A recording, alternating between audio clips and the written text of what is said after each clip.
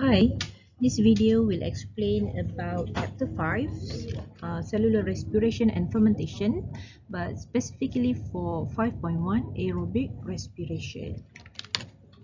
Under chapter 5 there will be aerobic respiration and the second uh, subtopic is fermentation and its application. For aerobic respiration, the learning outcomes is for students to be able to state the needs for energy and the role of respiration in living organisms.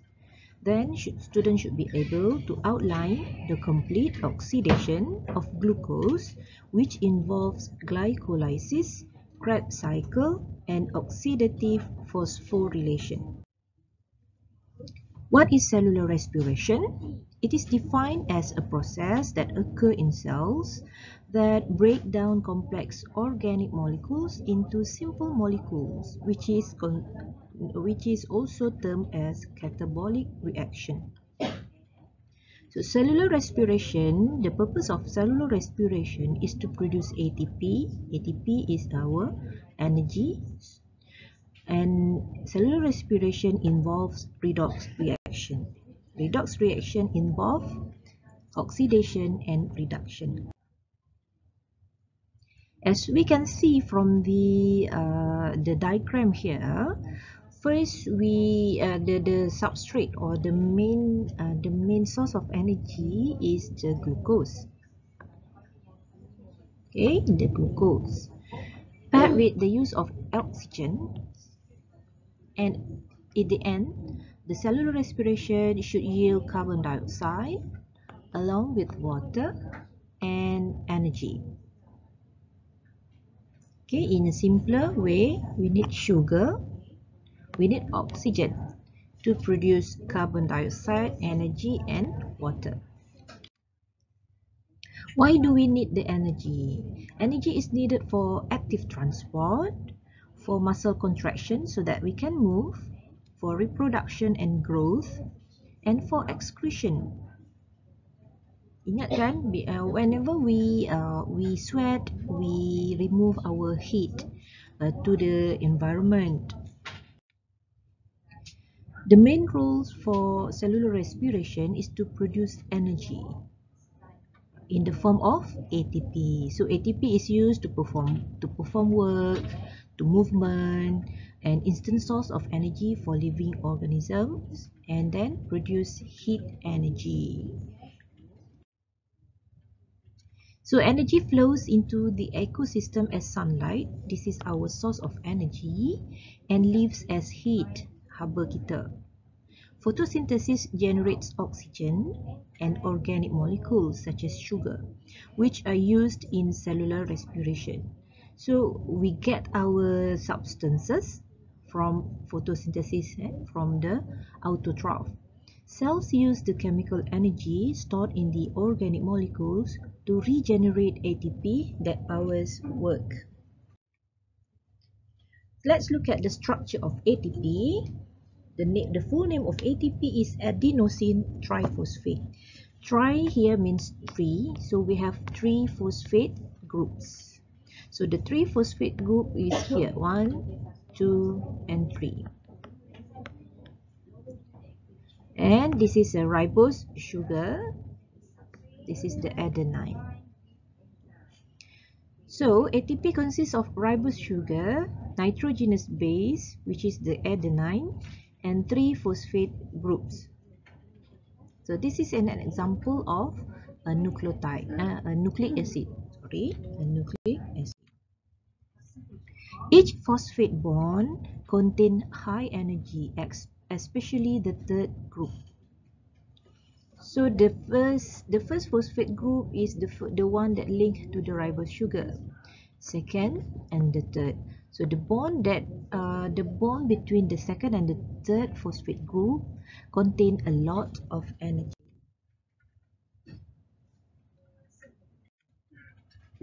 When energy is needed, ATP will be hydrolyzed. So the hydrolysis of the unstable bond between the phosphate will release the energy. Energy will be transferred to cell which required energy. So this energy will be harnessed by the cells that needs the energy.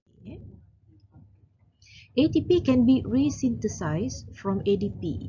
Once the ATP lose one of its uh, of its uh, phosphate group, it will be called adenosine diphosphate because it has only two phosphate groups left.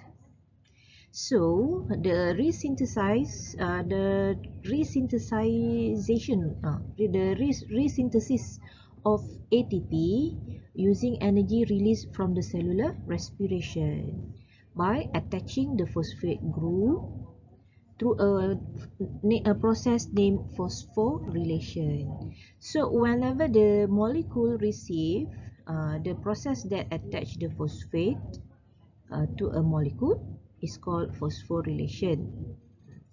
The ADP is phosphorylized, meaning that the ADP receive the phosphate in organic uh, with, uh, with the consumption of energy, it will produce ATP along with H2O. There are two types of cellular respiration, which is aerobic respiration and anaerobic respiration. So since aerobic respiration requires oxygen, anaerobic respiration does not require oxygen. Aerobic respiration is a process when a glucose is completely break down. So the word completely break down is very important. Meaning when it is it is broken down completely, it will produce carbon dioxide, water and also energy. And this complete breakdown um, requires presence of oxygen. So you have to memorize the definition. Okay, complete breakdown. So complete breakdown uh, will produce carbon dioxide, water and. This process involves redox reaction which is uh, a couple uh, of oxidation and reduction at the same time. Okay, oxidation is an addition of oxygen or any process that remove removal of hydrogen or the loss of electron. While reduction is the contradiction of the oxidation. When one molecule uh, receive oxygen, meaning that it received from another molecule. So the molecule that lost the oxygen will be said to reduce or when one molecule remove hydrogen, the hydrogen will be accepted by another molecule. So the molecule that receive the hydrogen will be said to be reduced. Same, uh, the same thing goes with the loss of electrons. So you have to uh, remember and understand this concept. Aerobic respiration involves three metabolic stages. The glycolysis, the first stage occur in the cytoplasm of the cell. The second stage is the Krebs cycle, occurs in the matrix of mitochondria. And the third step, stage is the oxidative phosphorylation. Oxidative phosphorylation involves electron transport chain and chemiosmosis, which occur in the inner membrane of the mitochondria. So these two stage, these two processes uh, occurs in the mitochondria, while glycolysis, glycolysis occurs in the cytoplasm of the cell.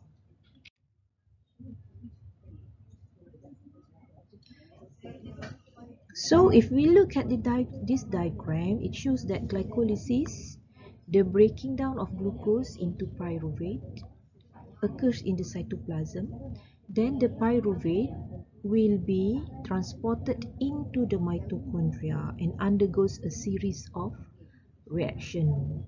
A few processes involved in the mitochondria. Okay, this involves link reaction. Link reaction is a process to prepare the pyruvate that enters the mitochondria so that it will be uh, easily used in the Krebs cycle. And then after Krebs cycle, uh, the electron and the hydrogen will be involved in the oxidative phosphorylation that occurs in the cristae or in inner mitochondrial membrane okay the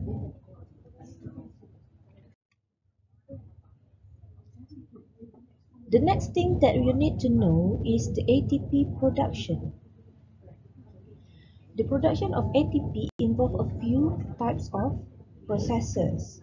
The first one is called substrate level phosphorylation. Okay, so phosphorylation is the process of addition uh, uh, addition of the phosphate into a molecule uh, into the molecule. The molecule is the substrate.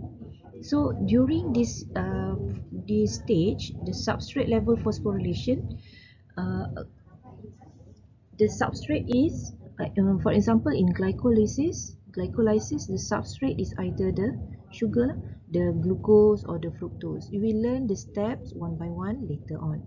So during substrate level phosphorylation, ATP will be generated during glycolysis and Krebs cycle.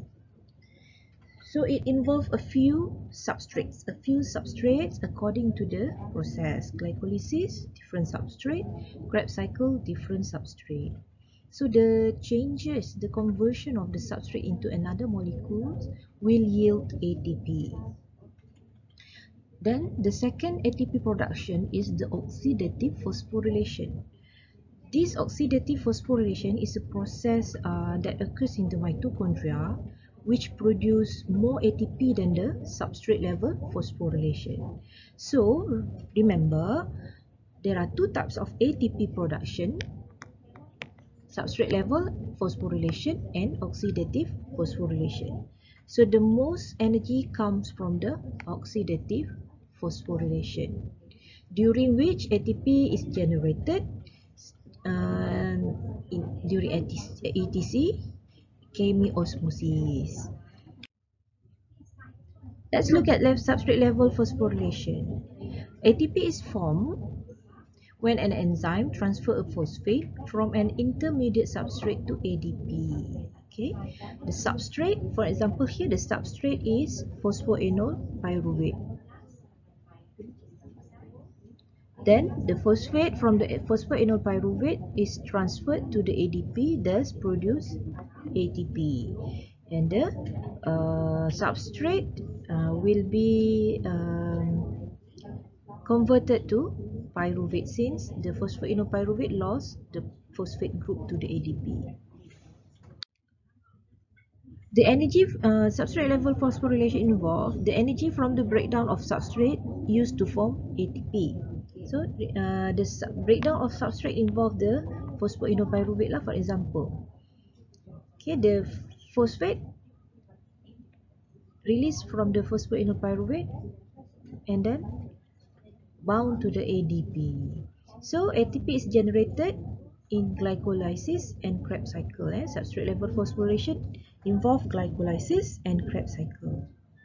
But the amount of ATP produced is small or less than the ATP produced by the oxidative phosphorylation.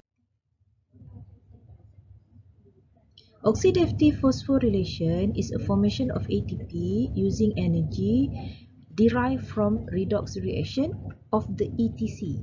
So ETC is electron transport chain. Remember just now when we explained about redox reaction, the loss of electron from a molecule is the oxidation and the receive the addition of electron from uh, for uh, to a molecule the molecule is reduced so uh, this redox reaction um, produce uh, energy then the energy is used to bind the phosphate inorganic to the ADP so ATP is produced. We will learn in details about that later.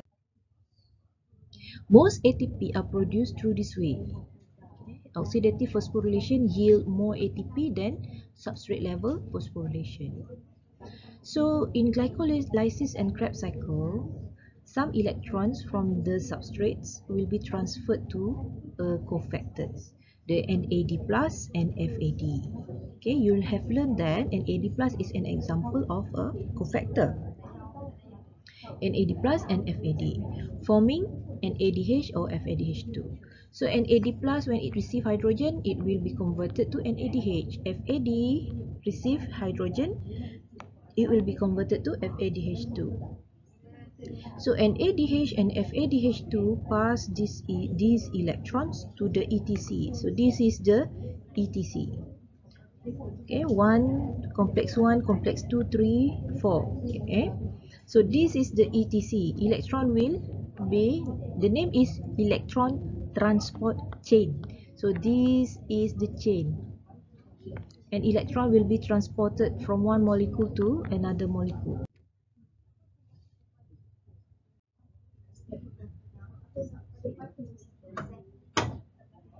So ATP produced from glycolysis is substrate level phosphorylation.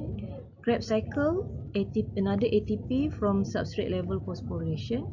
Then electron from Krebs cycle is transported to the electron transport chain and then undergo uh, redox reaction and at the same time uh, oxidative phosphorylation occurs, produce ATP through oxidative phosphorylation.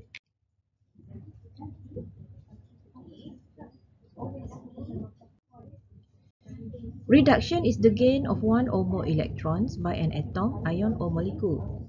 This will re, uh, example is reducing NAD plus except two hydrogen atom to form NADH plus H plus. Okay, it must be written together because NAD plus receive two hydrogen atoms, so one and two.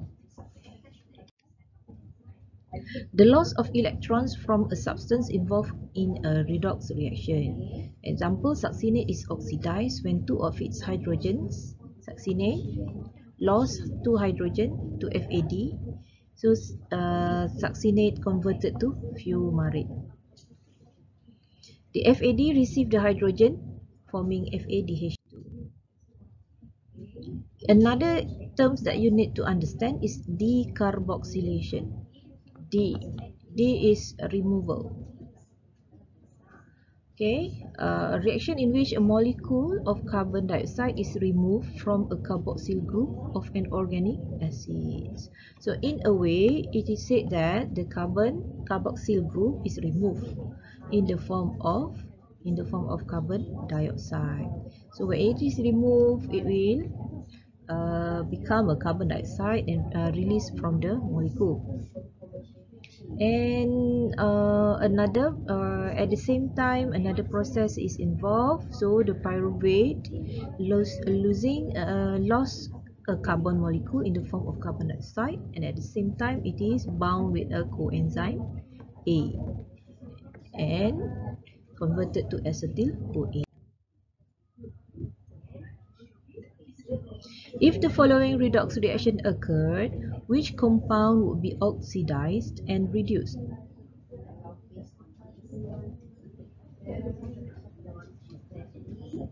The compound that is oxidized is the here C4H6O5. The compound that is reduced the NAD plus. NAD plus receive hydrogen, lose hydrogen. Okay, that's all. Thank you.